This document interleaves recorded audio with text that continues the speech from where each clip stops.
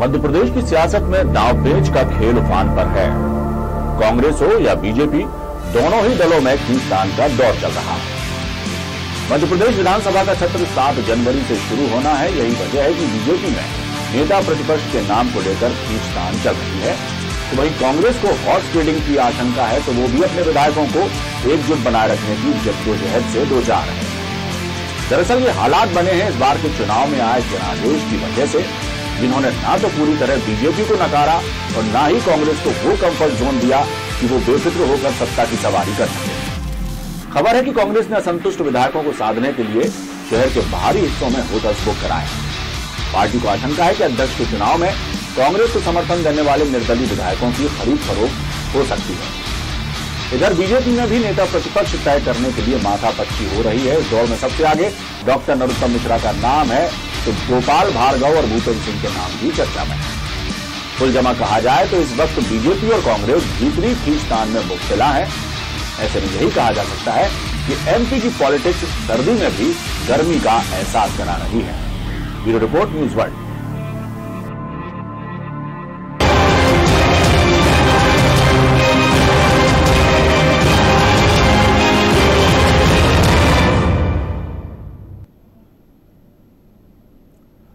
Madhya Pradesh की politics सर्दी में भी गर्मी का एहसास करा रही है।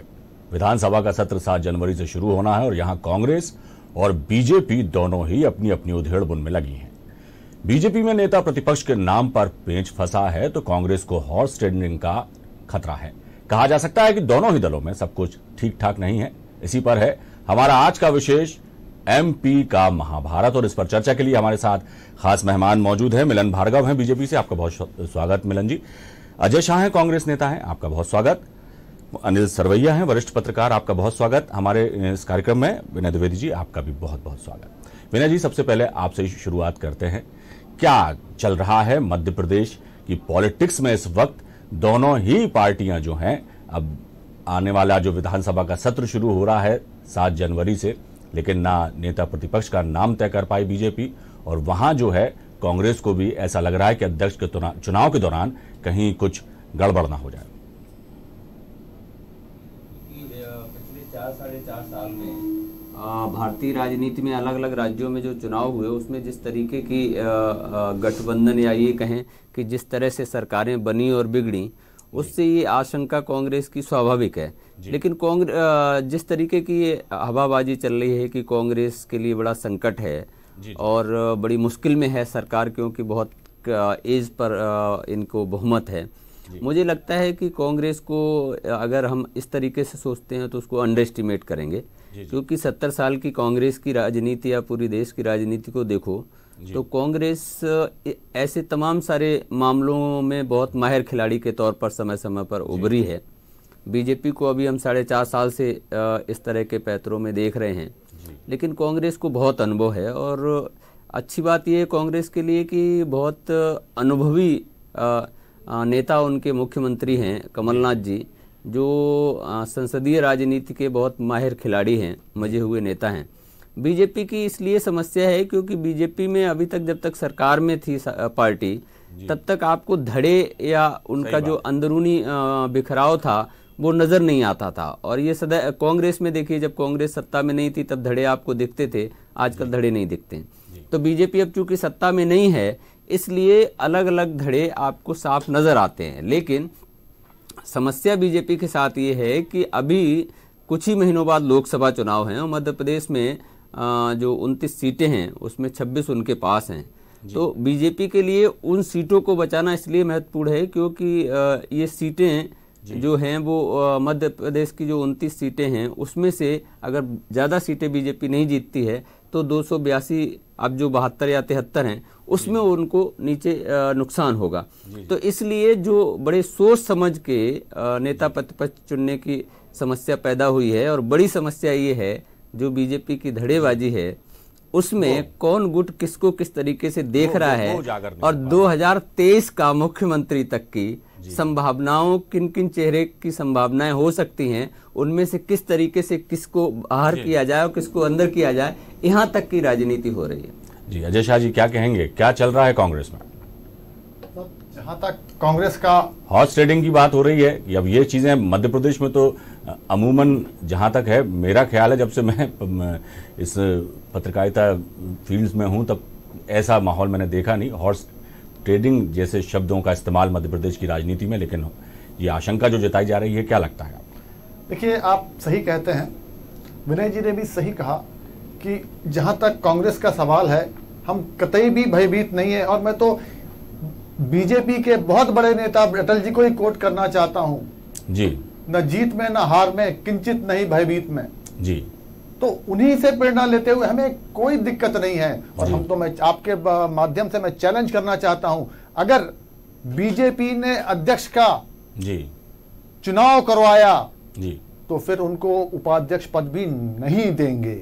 हम तो ये क्या क्या कहते हैं? अगर सद्भावना की बात है अगर वो बिना चुनाव के करते हैं तो हम ज़रूर देंगे। लेकिन अगर उन्होंने हिमाकत की वैसे कहा हिमाकत जैसी दिखाई तो दे नहीं रही। उन्होंने आ, आसानी से पूर्व मुख्यमंत्री जो हैं शिवराज सिंह चौहान ने इस्तीफा दिया। बिल्कुल सत्ता में आने के लिए स्वागत किया और आपको अभी फ्री हैंड दे रखा है। कहीं से कहीं कोई ऐसे कोई विरोध के स्वर भी मुखर नहीं हो रहे हैं थोड़ा बहुत आपसे सहमत हूँ। जिन्होंने बहुत अच्छी तरह से सीएम पद से इस्तीफा दिया उन्होंने फिर क्या कहा? टाइगर ज़िंदा है। वो टाइगर जो चौदह साल जिसकी उम्र होती है जिसके दांत आंत सब और पंजे अंजे सब घिस जाते हैं। जी। उसको इसलिए हमारे अरुण जी ने कहा था संरक्षण हम देंगे। और अब की बात यह है देखिए ये हमको ताने देते थे कि हम उलझे हैं जूतम पैजार में। हम देख रहे हैं इनके बड़े बड़ों को झगड़ते हुए सरे बाज़ार में। आप नेता प्रतिपक्ष की बात कर रहे हैं? आज ये बनेगा या वो बनेगा। पहले मामा बनना चाहते थे। जब मामा को ऊपर से गुट्टी पिला दी गई कि भैया बहुत हो गया तो उन्होंने कहा साहब मैं रेस में नहीं हूँ। अब कौन बनेगा? उन्होंने कहा मिश्रा जी बनेंगे। मिश्रा जी कौन है? जो जो पेड न्यूज़ के दोषी हैं। या राजन अजी बनेंगे। ये तो इन, इनकी बात है। तो जो गुटबाजी की बात विनय जी ने कही वो सही है।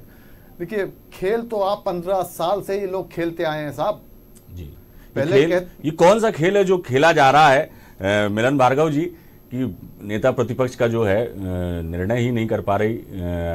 पार्टी और पार्टी का वैसे भी ये अंदरूनी मामला ही कहेंगे कि वो जिसे चाहते हैं बनाए लेकिन अटकलें जो जिस तरह की लगाई जा रही हैं कयास लगाए जा रहे हैं स्थिति साफ़ अभी तक नहीं हो पाई है। परसों से तो विधानसभा का सत्र भी शुरू होने वाला है। देखिए बड़ा ही दुर्भाग्यपूर्ण है ये खेल जो कांग्रेस खेल रही है ये बहुत ही निचले स्तर की डर्टी पॉलिटिक्स का खेल मध्य प्रदेश में हो रहा है। आज से पहले कभी आपने इन पंद्रह वर्षों में भारतीय जनता पार्टी के द्वारा विद्वेशपूर्ण कभी रवैया नहीं देखा होगा लेकिन जब से सरकार बनी है भैया ऐसा लगा कि भारतीय जनता पार्टी और राष्ट्रीय स्वयंसेवक संघ बिल्कुल मध्य प्रदेश में जड़ों काटने पे ही मजबूर हो गए कहीं ना कहीं इनको डर भय जो है कि इनका अस्तित्व खतरे में जो रहा है आज ये विद्वेशपूर्ण भावना पूर्वक देखिए आप वंदे मातरम बंद कर देते हैं विद्रोह उसको तो उन्होंने और भव्य रूप देना हाँ बहुत ये विद्रोह होने के बाद जब विरोध हुआ तो उसके बाद नए स्वरूप में लाते हैं। देखिए, राष्ट्रीय स्वयंसेवक संघ का एक पुस्तक का विमोचन का कार्यक्रम होता तो उसको कैंसिल कर देते हैं। जो एक महीने चुनाव से लगभग बहुत चुनाव के बीच में उसकी बुकिंग हो जाती रही कैंसिल कर देते हैं। मध्य प्रदेश में जो विकास हुआ उसका जो दिखता है परिणाम आज कल की घटना है मध्य प्रदेश भोपाल की कि सावरकर ब्रिज जाम का जो ओवर ब्रिज भोपाल में आपके स्टूडियो के समीप बना हुआ है वहाँ जो लोकार्पण की जो पट्टिका लगी थी उस पर काली पोतने का काम कांग्रेस के कार्यकर्ता करते हैं। ये ये कमलनाथ की सरकार नहीं ये कलंकनाथ की सरकार दिखाई दे रही है जिस प्रकार से विद्वेश भावना से मध्य प्रदेश में काम कर रहे हैं ये मध्य प्रदेश की बेहतरी के लिए नहीं है सकता इनकी राजनीति का स्तर ये हो। दिग्विजय सिंह जी चर्चा कर रहे हैं हॉर्स ट्रेडिंग देखिए दिग्विजय सिंह जी वो नेता हैं जो न्यूज़ बनाने में बहुत माहिर हैं। उनको मालूम है कि किस प्रकार से अपने आप को फ्रंट पेज की खबर बनाया जाए। तो इस तरह की बातें वो अनर्गल करते हैं जिनका कोई सिर पैर नहीं है जिसकी कोई पूछ नहीं है। देखिए हमारे नेता कह रहे हैं हमें सरकार बनानी नहीं है लेकिन दिग्विजय सिंह आरोप लगा रहे हैं। किस प्रकार की राजनीति है? आपको सरकार बना चुके हो आपके नेता आपस में जूतम पेल कर रहे हैं। आज ही कल की घटना है मंदसौर में किस प्रकार से मीनाक्षी नटराजन और ज्योतिराज सिंधिया के समर्थकों में जूतम पेल हुआ। ये बड़ा दुर्भाग्यपूर्ण है कि सरकार आने के बाद भी इनका जूतम पेल बंद नहीं हो रहा क्योंकि इनकी पद्धति है इनकी राजनीति की स्टाइल है। आप वल्लभ भवन में जाएँगे मैं पिछले चार पाँच दिन पहले वल्लभ भवन की तरफ़ से निकल रहा था मैंने कांग्रेस कार्यकर्ताओं को सुरक्षा कर्मियों से झगड़ते हुए देखा कि हमें पास बनाने की आवश्यकता नहीं है ये भारतीय जनता पार्टी की सरकार नहीं ये कांग्रेस की सरकार है। हमारे मंत्री बैठे हैं हमें आप रोक नहीं सकते।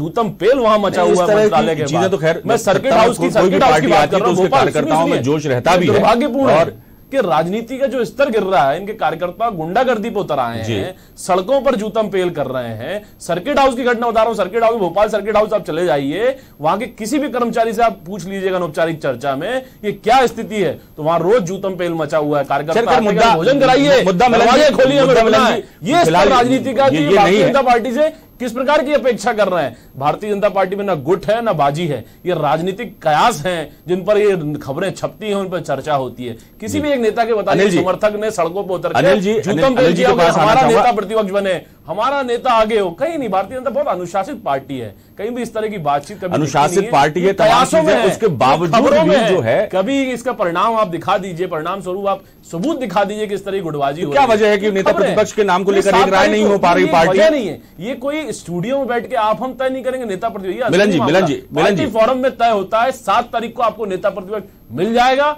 मैं आपके साथ उस व्यक्ति का इंटरव्यू भी कराऊँगा और आपको बताऊँगा कि मध्य प्रदेश में विपक्ष का मज़बूत नेता कौन है। अनिल जी आपके पास आऊँगा।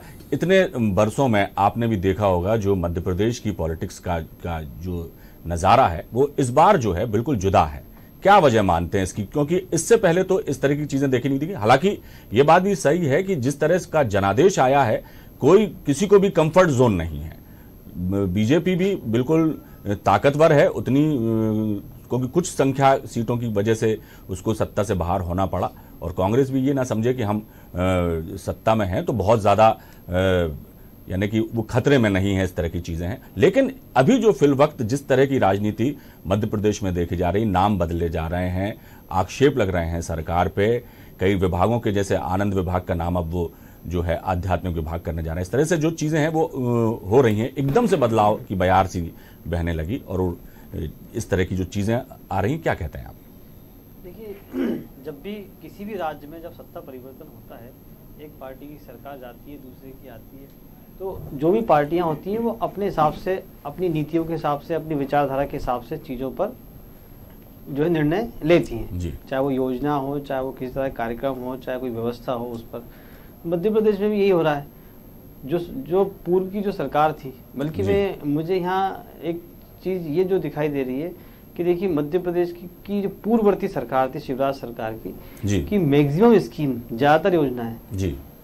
उनके नाम भले ही चाहे कुछ चेंज हो सकते हैं जी। पर उनमें कहीं कोई छेड़छाड़ जैसी कोई चीज़ फ़िलहाल तो मुझे मतलब उनमें उनमें कटौती होती नहीं दिख रही मुझे कहीं पर भी। जी जी। जैसे संबल योजना था संबल का नाम बदल के नया सवेरा कर दिया और उसमें कुछ चीज़ें एडिशन कर दी जी। कि भाई और यहाँ उसमें कुछ लूप होल थे उनको मज़बूत कर दिया जाए ताकि उसका जो लाभ मिल जाए। बाकी तो देखिए ये सब चीज़ें मैंने कहा ना जब भी कोई सरकार चेंज होती है तो जो भी जिस भी पार्टी की सरकार आती है उसकी एक श्रेय लेने की होड़ तो रहती है। एक, एक, निश्चित रूप से श्रेय लेने की होड़ भी होती है और सबका अपना अपना एक एजेंडा भी होता है। ये बात सही है कि आपने बिल्कुल सही कहा कि मध्य प्रदेश में इस बार का जनादेश ही ऐसा आया है कि ये अगले पाँच साल ये सब चीज़ें हमें बिल्कुल जो लगातार दिखाई देने वाली है बहुत कुछ इन पाँच सालों में ऐसा होगा जो मध्य प्रदेश के की राजनीति में शायद इससे पहले नहीं हुआ।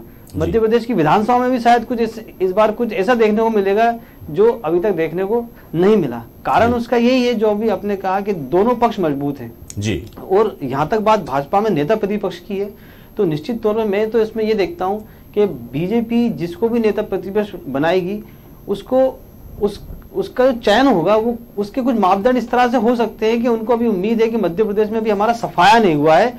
पाँच साल बाद हम वापस बहुत जोरदार बात ये कर सकते हैं। बात ये भी है ना कि अनिल जी जितना कद्दावर जो तगड़ा विपक्ष है तो उतना ही कद्दावर नेता भी तो होना चाहिए। एग्जैक्टली कि आज देखिए उनके पास संख्या बल इतना अधिक है कि वो सरकार को अपनी मनमानी बिल्कुल भी नहीं करने दे सकते। तो इस तरह का एक चेहरा उनके पास कौन हो सकता है? वो सारी कसौटियों पे उस चीज़ को देख रहे हैं।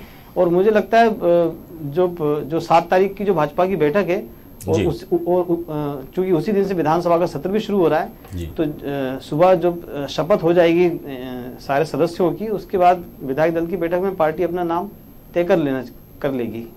जी। विनय जी क्या कहेंगे?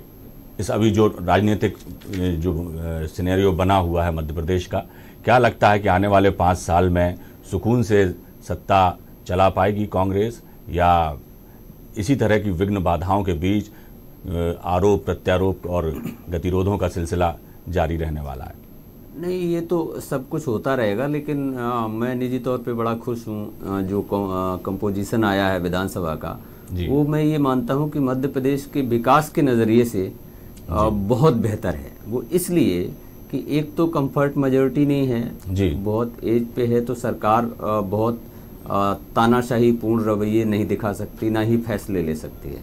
जी। दूसरा विपक्ष इतना ताकतवर है कि सदन के अंदर जी। आ, सरकार के लिए बहुत आसान नहीं होगा अगर कोई ऐसा फैसला ले जो जनता के लिए कंफर्ट नहीं हो। तो कुल मिला के मध्य प्रदेश के लिए इससे बेहतर और कोई कंपोजिशन हो नहीं सकता था। रही बात पाँच साल चलने की मुझे लगता है कि बहुत कंफर्टेबली सरकार चलेगी पाँच साल। और जो ये कयास लगाए जा रहे हैं कि सरकार छः महीने की है या साल भर की है देखिए मैं फिर वही बात कहता हूँ जो शुरू में कहा था कि कांग्रेस को इस तरह के मामले हैंडल करने में हम जो है अंडर एस्टिमेट करेंगे अगर ऐसा होगा। कांग्रेस में अ, को महारत है इस तरह की सिचुएशन को हैंडल करने की और वैसे भी सत्ता जिसके हाथ में होती है जी जी। उसके पास जो है अतिरिक्त अ, जो है चीज़ें जुड़ी हुई होती हैं जिनके ज़रिए इस तरह के जो भी उलझाव आएँगे या जो समस्याएँ आएँगी उनको बहुत बेहतरीन तरीके से हैंडल किया जा सकता है।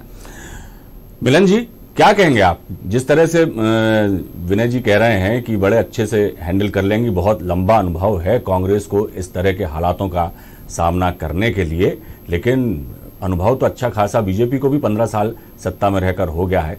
क्या लगता है आपको? यदि सरकार बहुत अच्छे काम करती जैसा अनिल जी ने बताया कि योजनाओं के नाम भर बदले गए हैं उनमें कहीं कोई तब्दीली नहीं की गई और कुछ वैल्यू एडिशन तक किए गए हैं। तो क्या लगता है कि सरकार जनहित में बहुत बढ़िया काम यदि आगे करती है तो क्या आप, क्या लगता है कि आप सहयोग करेंगे या देखिए, पहले दिन से हमारे सहयोग की भावना है। हम कोई विद्वेषपूर्ण भावना से ना ही विपक्ष के रूप में भूमिका निभाएँगे। देखिए ना ही हमारे पद्धति है। देखिए सरकार को ही वक्त हम देंगे कि कितने उन्होंने जो वादे किए हैं उसको जनता के बीच जाकर उसको पूरा करें। अक्षर सा पूरा करें क्योंकि भ्रम की स्थिति बहुत सारी बनी हुई है। देखिए कमलनाथ जी के साथ जो सबसे ज़्यादा चुनौतीपूर्ण है वो भारतीय जनता पार्टी के विपरीत जाकर उनकी पार्टी में जिस प्रकार की परिस्थितियाँ निर्भर मतलब होती दिख रही हैं कि गुंडागर्दी और धमकी से चल रही है। कहीं ना कहीं उनके जो प्रत्याशी हैं या अन्य गुट के लोग हैं वो चमकाते हैं भैया हमें ये विभाग नहीं मिलेगा तो हम ये नहीं करेंगे काम। गोविंद सिंह जी का उदाहरण देखिए वो कितने नाराज़ हो गए कि जब उनको जीएडी दिया तब तो वो मंत्रालय के उन्होंने स्थान कहीं ना कहीं स्वीकार किया पद को। और कई सारे जो निर्दलीय और तो जो पार्टी के समर्थन जो लिया पिछली पिछली सरकार भी में तो- धमकी दे रहा है वो भी धमकी दे रहा है। पिछली सरकार में मिलन जी पिछली सरकार में जयभान सिंह पवैया जी भी जो हैं शपथ ग्रहण समारोह के दौरान उठ के चल दिए थे कि राज्य मंत्री का दर्जा दिया जा रहा फिर उनको मनाया गया था। तो ये तो वहाँ भी हुआ है आपके यहाँ भी हुआ और जिस तरह से अपवाद स्वरूप कोई एक आध घटना तो मिलन जी, एक बात और भी है। पुनरावृत्ति नहीं होती कभी। जी, जी। एक आध अपराध स्वरूप है। राजनीति है देखिए सब तरह के लोग होते हैं सबको स्वतंत्र अधिकार है लोकतंत्र में। लेकिन जिस प्रकार की परिस्थितियाँ कमलनाथ की लड़ाई तो वहाँ भी लड़ी जाती है। कमलनाथ जी सरकार के मुखिया भले ही हैं लेकिन उनको चलाने वाले दिग्विजय सिंह और ज्योतिराज सिंधिया रहेंगे। देखिए हर समय उनको उनका सहयोग भी लेना पड़ेगा उनको मनाकर भी चलना पड़ेगा। अभी लोकसभा चुनाव में आप देखेंगे कैसे जूतम पेल होगा गुटबाजी चरम पर आएगी क्योंकि कोई भी नहीं चाहता कि ये नेता नहीं, मिलन जी, देखिए, जिस तरह- गुट चाहता है कि वे अगले मुख्यमंत्री हो जिस तरह से- आज जी हटे तो वे बन जाएँ। तो ये अभी भी जूतम पेल मचा हुआ है इसको आप नकार नहीं सकते। मिलन जी एक एक बात तो यह है कि थोड़ी बहुत खटपट तो सभी पार्टियों में होती है। आपके यहाँ के भी जो है मिजाज नेताओं के बहुत बदले बदले से तो नज़र आ रहे हैं बदले बदले नज़र आ तो रहे हैं। हमारे ये थोड़े से तो ऐसा लग रहा है कि कोई नाराज़गी और ये इस तरह असंतुष्टि के भाव जो हैं वो यहाँ भी नज़र आ रहे हैं। लेकिन जिस तरह से विधानसभा का चुनाव कांग्रेस ने लड़ा शुरू से ही अटकलें थी कि गुटबाजी है, तमाम चीज़ें हैं, लेकिन आखिरी में एक होकर उन्होंने चुनाव लड़ा और अभी भी जो खेमेबाजी का जो दौर है, वो कांग्रेस में दिखाई नहीं दे रहा और मेरे को नहीं लगता या किसी को भी नहीं लगता कि आने वाले लोकसभा चुनाव करीब हैं तो फिर से ही वही गुटबाजी करके वो अपने लिए मुसीबत पैदा करेंगी। क्या कहते हैं, अजय जी? तब मैं तो पेश से नज़र करना चाहता हूँ हमारे मिलन जी के लिए। शिवराज विरोधी इकट्ठे हैं। जो कल तक करते थे उनको कोर्निश, आज वही लोग उन्हीं को मार रहे हैं, धक्के हैं। आपने भी बताया, आप लोग सब जानते हैं, आपके ऑडियंस भी जानते हैं। मैं दूसरी चीज़ बोलना चाहता हूँ कि आपने इस पार्टी को बीजेपी को, कहा बहुत अनुशासन पार्टी है। अनुशासन कितना उस पार्टी में होगा जहाँ के प्रवक्ता आप रोक रहे हैं, हम लोग हंस रहे हैं, लेकिन वो चालू है। पहली बात। दूसरी बात है मैं आपको दो चीज़ इन्होंने बोला आरएसएस पे। अरे आरएसएस तो साहब अपने आप को क्या पॉलिटिकल पार्टी तो नहीं बोलता वो तो बोलता मैं सामाजिक संगठन हूँ। तो ये आरएसएस को डिफेंड करने वाले कौन होते हैं? या तो मान लें कि आरएसएस और बीजेपी एक ही थैली के चट्टे बट्टे हैं और अगर नहीं मानते तो ये कोई नहीं होते आरएसएस के ऊपर अप, अप, अपना वक्तव्य देने वाले। पहली बात। दूसरी बात जो इन्होंने कहा आरएसएस आप आपने भी देखा होगा आ, कि जो रसीद इन्होंने बताई है इकतीस बारह अठारह एक तारीख को इनका आ, क्या बोलते हैं वो था ये कहते थे एक महीने पहले हमने क्या था पैसे भर दिए थे सरासर झूठ। मुझे तो ताजुब होता है कि आरएसएस जैसी संस्था अजय जी, अजय जी बात बता बात बता यहाँ पर जो अपन हम चर्चा करना शायद विषय से भटक रहे हैं थोड़ा से ये चर्चा इस बात की है कि नई सरकार जो आई है, उस उस, वो भी बहुत ही कम निर्दलीय जो विधायक हैं या बहुजन समाज पार्टी और समाजवादी पार्टी के सहयोग से सरकार बनाई है। बीजेपी को भी उतनी कम सीटें नहीं बनी कांटे की टक्कर है। अब इसमें जो जिस तरह के विरोधाभास और आरोप प्रत्यारोप के दौर चल रहे हैं, कांग्रेस जो जिस तरह से प्रतिदिन आए दिन नए नए फरमान जारी कर रही है बदलाव कर रही है। बीजेपी में भी जिस किस्म का जो है अलगाव और बिखराव दिखने दिखने सा लगा है उस पर मुद्दा है। विनय जी आपसे अनिल जी आपसे एक एक टिप्पणी इस पे लूँगा। विनय जी पहले आप क्या कहेंगे? देखिए मध्य प्रदेश में जो अभी जो कुछ भी चल रहा है राजनीति में ये जमीनी हकीकत से हट के बहुत सारी चीज़ें हवा में चल रही हैं। और इसमें दुर्भाग्य ये है कि बहुत से लोग जो संसदीय परंपराओं और नियमों को नहीं जानते हैं ये व्हाट्सएप यूनिवर्सिटी जिसको मैं व्हाट्सएप यूनिवर्सिटी हमेशा कहता हूँ ये उनका ज्ञान बढ़ा रही है और गलत तरीके से बढ़ा रही है और ये, ये दुर्भाग्यपूर्ण है।